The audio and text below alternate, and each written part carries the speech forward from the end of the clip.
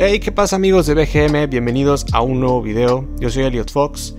Pues bien, eh, mucho se ha dicho sobre el futuro de Fernando Alonso en la Fórmula 1 y ahora con una temporada que prevé correr 24 carreras, que parece que va a ser el estándar de aquí en adelante, los fans temen que este calendario tan agotador anime al piloto de Asturias a retirarse definitivamente de la Fórmula 1. Pero si acaso hubiera dudas sobre el futuro del piloto español. Los sorprendentes resultados de sus más recientes exámenes médicos que le han hecho este invierno, donde se concluyó que el bicampeón de 42 años goza de un perfecto estado de salud, podrían mover todos los pronósticos sobre el tiempo que le pueda quedar a Fernando Alonso en Fórmula 1. Verán, en su más reciente declaración, Alonso se mostró abierto a la posibilidad de seguir corriendo en Fórmula 1 incluso hasta los 50 años, así como lo oyen.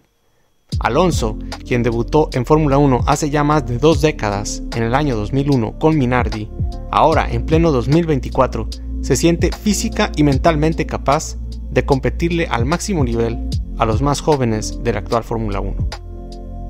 No olvidemos que desde que Alonso llegó a Aston Martin se provocó una mejora en su forma física que de hecho fue muy notoria con cada podio que consiguió la temporada pasada. Pero bueno, de acuerdo a motorsport.com, Alonso habló sobre su extenso acondicionamiento físico que le ha llevado a cambiar todos los paradigmas que se tienen al día de hoy sobre cuál es el límite de edad para poder competir en Fórmula 1. Y dijo Alonso, hace unos años yo pensaba que quizá entre 40 y 41 años era el límite, Ahora, después de verme el año pasado motivado y con un buen desempeño, estaba pensando que tal vez pueda seguir compitiendo unos años más. Este invierno he superado un poco las expectativas en cuanto a todas las pruebas físicas y todo lo que hice. Así que diré que si estás motivado y quieres comprometerte, puedes conducir tal vez hasta los 48, 49 o incluso 50.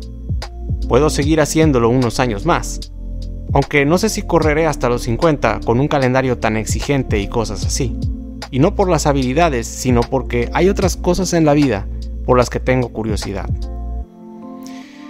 Pues así es esto, señores. Eh, para nadie es un secreto que, que Alonso, de hecho desde hace un tiempo para acá, ha cuidado mucho mejor de su estado físico.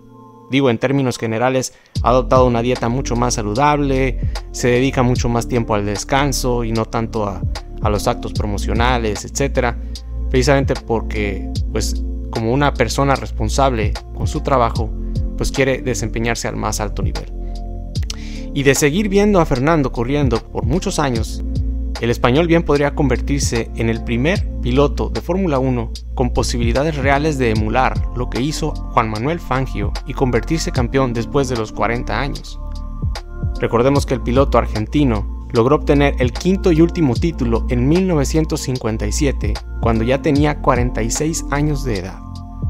Y es que realmente la edad no es ningún impedimento para que un atleta que está en buenas condiciones pueda ganar campeonatos. Ya lo vimos con Carlos Sainz padre, el ejemplo más reciente que tenemos, que a sus 61 años hizo historia cuando consiguió su cuarto título Dakar. Así que pues todo es posible amigos, pero cuéntenme, ¿A ustedes les gustaría ver a Alonso competir hasta los 50 años? ¿O qué opinan al respecto? Déjenmelo saber en los comentarios.